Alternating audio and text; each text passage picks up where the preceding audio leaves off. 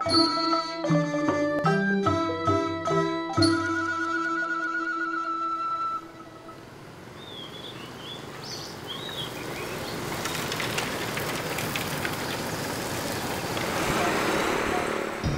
្នុងប្រ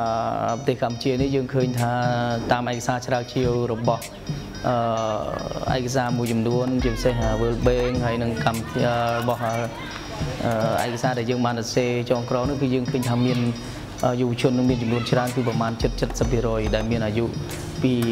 ក្រោម30ឆ្នាំ មានន័យថាពីក្រោម30ឆ្នាំរហូតដល់15ឆ្នាំ ដែលគាត់មានចំនួនច្រើនណាស់ណាបាទយើងឃើញថាការចូលរួមស្ថាបនាយើងឃើញថាធ្វើម៉េចឲ្យពួកគាត់នឹងមានឱកាសបានចូលរួមនឹងទី1ធ្វើម៉េចឲ្យគាត់មានការលើកជាមតិជាយោបល់ហើយយោបល់របស់គាត់ត្រូវបានគេឲ្យតម្លៃ YCUD ដែលហៅកាត់ពាក្យហៅកាត់ជាភាសាអង់គ្លេសទៅ YCUD ហើយយើងសម្រាប់ពាក្យខ្មែរពេញគឺគណៈកម្មាធិការដើម្បីគណៈកម្មការយុវជនដើម្បីឯកភាពដើម្បីអភិវឌ្ឍនិងដើម្បីឯកភាពនិងអភិវឌ្ឍអញ្ចឹងយើងគឺ YCUD ដែលបង្កើតឡើងដោយមានយុវជនអង្គការយុវជនចំនួន7ត្រូវបានបង្កើតឡើងហើយធ្វើការដើម្បីកម្លាំងរួមគ្នាសម្លេងរួមគ្នាមួយដើម្បីធ្វើការតស៊ូមតិបង្កើតឲ្យមានអឺការទទួលខុសត្រូវរបស់រដ្ឋនៅក្នុង ការអភិវឌ្ឍយុវជន ជាពិសេសការបង្កើតឲ្យមានគោលនយោបាយយុវជន ជាពិសេសការបើកឱកាសឲ្យមានការចូលរួមរបស់យុវជននៅក្នុងគ្រប់ដំណាក់កាលនៃការបង្កើតឲ្យមានគោលនយោបាយសាធារណៈរបស់រដ្ឋបាទតាមរយៈការភ្នាក់ងាររបស់ ANSA AP ជើញមកហ្នឹងគាត់តែងតែផ្ដល់យោបល់គាត់តែងតែរៀបចំកិច្ចប្រជុំទី1គឺគាត់បានផ្ដល់ជាថាវិការទី2គាត់បានផ្ដល់ជាបច្ចេកទេស តាមរយៈការពង្រឹងសមត្ថភាព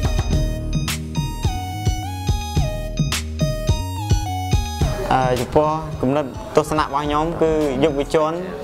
គឺដើរតួសំខាន់បំផុតក្នុងសង្គមមួយព្រោះអីយុវជនគឺជាតំពាំងស្នងរស័យបើសិនជាយុវជនមិនខំសិក្សារៀនសូត្រឬក៏ធ្វើអ្វីដែលមានប្រយោជន៍ដល់សង្គមគឺធ្វើឲ្យសង្គមនឹងអាប់អនអាចសង្គមនឹងអាចថាមានការ មើលងាយពីប្រទេសដទៃហើយណាមួយធ្វើឲ្យសង្គមគ្មានភាពរីកចម្រើនទៅថ្ងៃមុខទៀតខ្ញុំបាទឈ្មោះអូនសម្បត្តិអឺធ្លាប់ជាអ្នកស្ម័គ្រចិត្តរបស់សមាគមយុវជនខ្មែរហើយនិងវិជ្ជាមណ្ឌលវិជ្ជាវរដ្ឋវិភាវនិងសន្តិភាពហៅកាត់ថា PDP បាទបាទអឺគម្រោងរបស់ខ្ញុំដែលបានធ្វើហ្នឹងគឺពួកខ្ញុំបាន បានសរសេរជាពាក្យស្នើសុំថវិកាដើម្បីធ្វើគម្រោងគម្រោងហ្នឹងមានសកម្មភាពមានដូចជាទី1គឺការប្រជុំក្លឹបប្រជុំបណ្ដាញវគ្គបណ្ដោះបណ្ដាលវិជ្ជាបរដ្ឋនៅតាមផ្ទះហើយវគ្គបណ្ដោះបណ្ដាលវិជ្ជាបរដ្ឋនៅតាមកន្លែងមួយដោយថាយើងអាចនាំគាត់មកចូលរួមកន្លែងមួយហ្នឹងគេហៅវគ្គបណ្ដោះបណ្ដាលរួមអឺ នាងខ្ញុំឈ្មោះឆេងលៀងហើយបច្ចុប្បន្ននេះគឺអាយុ21ឆ្នាំហើយហើយបច្ចុប្បន្នផងដែរគឺខ្ញុំកំពុងតែសិក្សានៅសាកលវិទ្យាល័យបញ្ញាសាស្ត្រផ្នែកច្បាប់គឺមាន2ដំណាក់កាលដែលខ្ញុំបានចូលរួមទី1នឹងចូលរួមជាមួយនឹងខាង PDP យើងនៅក្នុងខេត្តសៀមរាបយើងនឹងគឺគាត់បានឲ្យនឹងខ្ញុំចូលរួមក្នុងការព្រៀងជាមួយនឹងគោលនយោបាយយុវជនថ្នាក់ជាតិ ហើយនៅក្នុងកម្មវិធីនឹងដែរគឺបានផ្ដល់ឱកាសឲ្យយុវជន បង្ហាញនៅបញ្ហាប្រឈមរបស់ពួកគាត់ដែលជួបនៅក្នុងសង្គមដែលគាត់បានជួបប្រទះហើយបន្ទាប់មកគេពិភាក្សាជាក្រុមតាក់ទងជាមួយនឹងគោលនយោបាយយុវជនដែលព្រៀងនឹងដាក់យកទៅខាងថ្នាក់លើបន្តទៅទៀតអ្វីដែលមានការផ្លាស់ប្ដូរសំខាន់បំផុតនេះទីមួយយើងឃើញថាការយកទៅចិត្តទុកដាក់នៅក្នុងការបង្កើតឲ្យមានសេចក្តីព្រៀងគោលនយោបាយ បាទដែលរាល់ថ្ងៃនេះក្រសួងអប់រំកំពុងតែដុតដៃដុតជើងទៅជែកឲ្យមានសេចក្តីព្រៀងគោលនយោបាយហើយសេចក្តីព្រៀងគោលនយោបាយនេះយើងឃើញថាមានការរសេរមកហាក់ដូចជាមានការយកចិត្តទុកដាក់អញ្ចឹងយើងឃើញថាមានការដកស្រង់អំពីខ្លឹមសារនៅក្នុងអនុសាសន៍របស់យើងច្រើននៅក្នុងការសរសេរហ្នឹងអញ្ចឹងយើងឃើញអ្វីដែលយើងឃើញថាប្រែប្រួលសំខាន់នេះយើងឃើញអេរយាប័តរបស់អាជ្ញាធររបស់រដ្ឋាភិបាលគឺគាត់មានការយកចិត្តទុកដាក់នៅក្នុងការបង្កើត working group មួយដើម្បីធ្វើសេចក្តីព្រៀងគោលនយោបាយយុវជន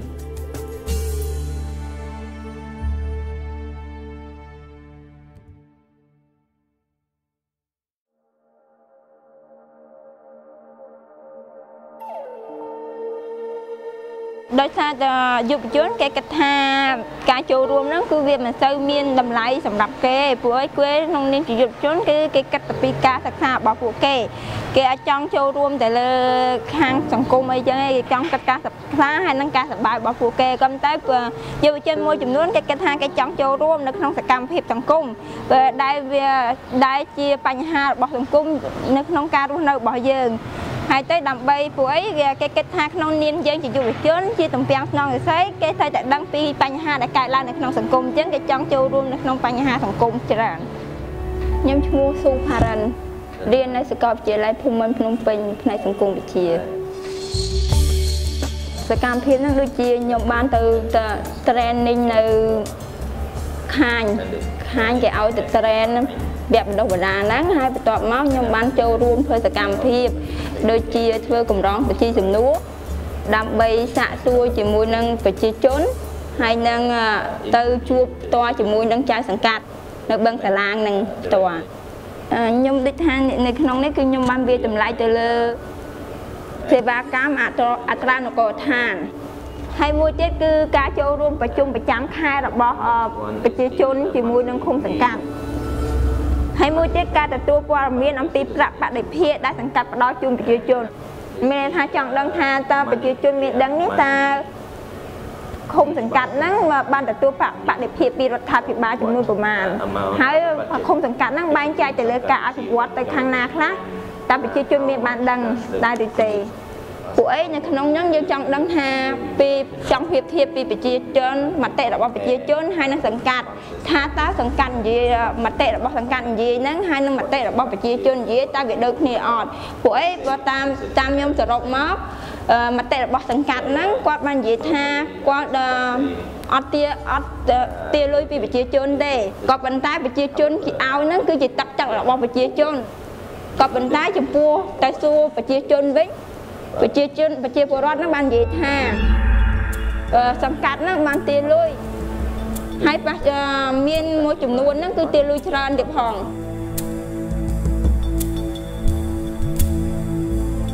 ពួកឯងខ្ញុំដូចនិយាយថានៅពេលដែលបញ្ចប់គម្រោងហ្នឹងពួកយើងវាតម្លៃទៅលើសង្កាត់ហ្នឹងជាសាធារណៈហ្មងពួកឯងនៅពេលដែលបញ្ចប់គម្រោងហ្នឹងខាញក៏បាននិយាយជាសាធារណៈដែរទៅលើប៉ុស្តិ៍វិទ្យុខ្ញុំខ្ញុំសូម អានពីគោលបំណងថែមឲ្យច្បាស់បន្តិចទៀតណាក្នុងនេះបើខ្ញុំព្រៀងហើយខ្ញុំឆ្លើយតាមនឹងទៀតទី1គឺបង្កើនការយល់ដឹងអំពីសារៈសំខាន់របស់ ASA 3លើកកម្ពស់ហើយវិមជ្ឈការថា D&D ហ្នឹងទី2ភ្ជាប់ទំនាក់ទំនងយុវជននិងទៅនឹងគណនេយ្យភាពសង្គមតាមរយៈការកំណត់ទៅលើឧបករណ៍ SA មួយចំនួនទី2សម្រាប់សម្រួលក្រុមយុវជនទៅលើការវាយតម្លៃសេវាថ្នាក់មូលដ្ឋានថ្នាក់ឃុំសង្កាត់ ចឹងសង្ឃឹមថាប្រជាធិបតេយ្យវាអាចកើតមាននៅនៅសហគមន៍យើងកាន់តែខ្លាំងហើយនឹងមានទម្លាប់នៃការតាមដានទៅលើមន្ត្រីសាធារណៈនឹងកាន់តែខ្លាំងដែរ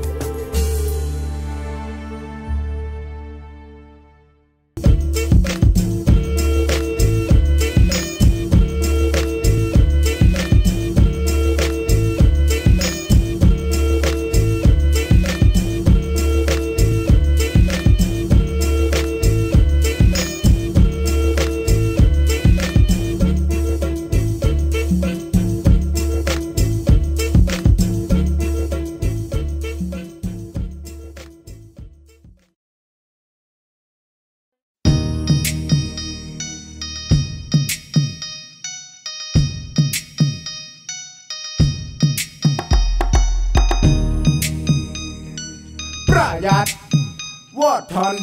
เลขมวย number one แชมเปี้ยน